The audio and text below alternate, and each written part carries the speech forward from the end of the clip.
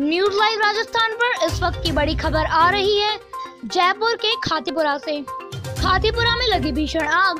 कई किलोमीटर दूर तक नज़र आया काला धुआँ। छोटवाड़ा खातीपुरा स्थित एक मैरिज गार्डन में गुरुवार शाम भीषण आग लग गई। आग पर आधा दर्जन दमकलों ने लगभग डेढ़ घंटे में काबू पाया। आग लगने के कारणों का अभी पता नहीं चल सका। वहीं लोगों ने घरी आबादी के बीच मैरिज गार्डन को लेकर विरोध करना शुरू कर दिया। आग के कारणों का अभी पता नहीं चल सका है। जानकारी के अनुसार झोटवाड़ा खातीपुरा पुलिया के नीचे स्थित तारानगर में गणेश वाटिका मैरिज गार्डन में बुधवार शाम सवा पाँच बजे आग लग गई। आग ने कुछ ही देर में विकराल रूप ले लिया। आग की लपटें कई किलोमीटर दूर तक नज़र आ रही थी।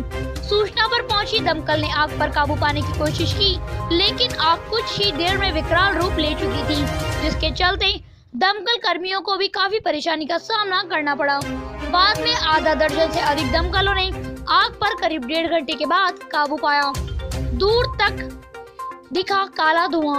आग का धुआँ आसमान में काफ़ी दूर तक नज़र आ रहा था। चारों तरफ़ आग का काला धुआँ फैल गया, जिससे लोगों को सांस लेने में काफ़ी परेशानी का सामना करना पड़ा। वहीं कई लोगों के आँखों में जलन की भी समस्या सामने आई है।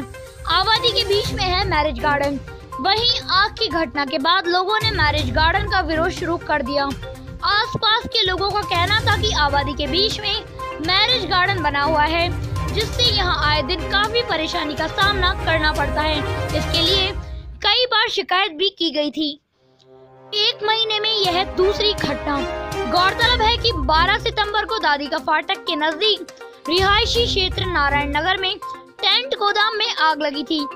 इस आग ने लगभग चार पाँच घरों को भी चपेट में ले लिया था, जिससे क्षेत्र में काफ़ी दहशत फैल गई थी। इस आग को बुझाने में करीब 20 दमकल लगाई गई थी।